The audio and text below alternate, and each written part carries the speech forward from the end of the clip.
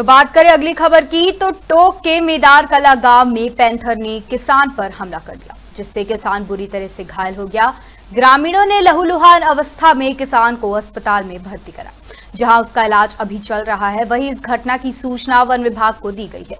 सूचना के आधार पर वन विभाग ने पैंथर को पकड़ने के लिए गाँव में पिंजरा लगाया है। टोक से कजोर गुर्जर की हमारे गाँव में मैं मैदार का निवासी हूँ और मैदार के एक किसान जो अपने खेत पर काम कर रहे थे चंसी पुत्र प्रहलाद गुजर।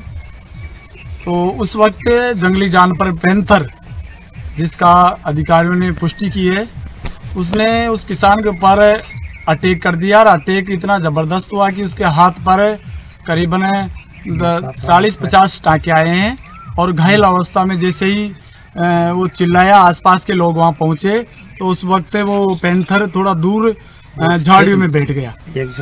और यहाँ से फिर उस घायल किसान को निभाई, रेफर किया। वहाँ सामुदायिक अस्पताल में उसका इलाज चल रहा है।